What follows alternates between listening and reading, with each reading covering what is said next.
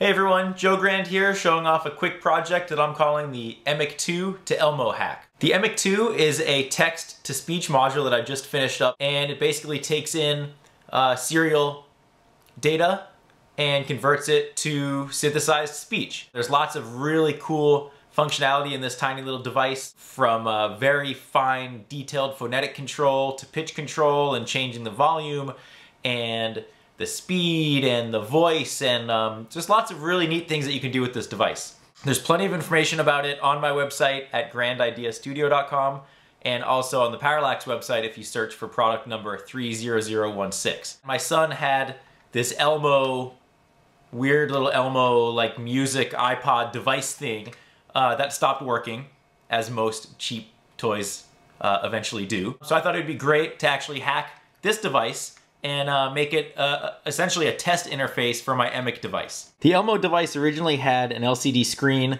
up here and uh, would let you cycle through a bunch of different songs, play the song, do a shuffle, or stop the song. As I have three built-in demonstrations to the EMIC 2 module, um, what I'm doing is these three buttons will serve as selecting the demonstration to play, and then during playback you can either hit the shuffle button to pause, or the stop button to stop the playback. What I have is the PIC 12F675, which I chose uh, just because I had a few of them in my parts bin, and it's a really nice small 8-pin uh, microcontroller. So over here, I have the uh, keyboard interface, which is those three buttons on the Elmo device, has a, a four connector ribbon that goes over to the PIC. So I have the play, stop, and shuffle buttons. Over here, I have a uh, connection to the microchip in-circuit serial programming header, which I'm using to program the firmware of the PIC. And then up here, I just have the standard um, serial interface,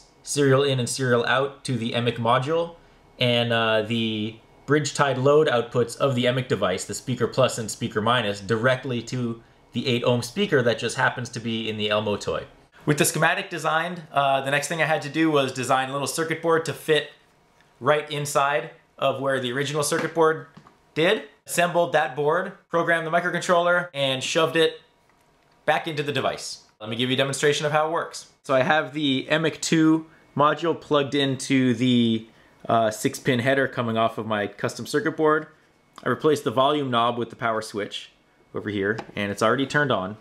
So the green light is on, indicating that the EMIC module is ready to receive commands. Now note that this is actually a pre-production prototype um, of the EMIC module.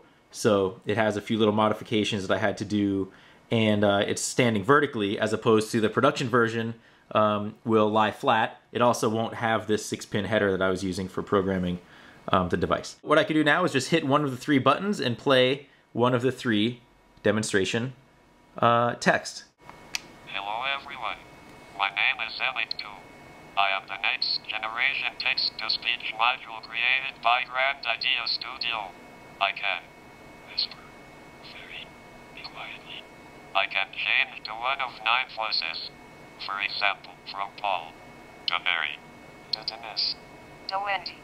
I can also increase my pitch and increase my pitch again. Then speed faster and even faster and even faster again. And then go back to normal.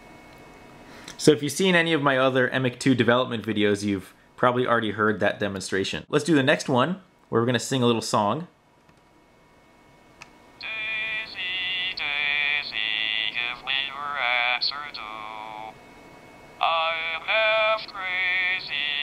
For the love of you.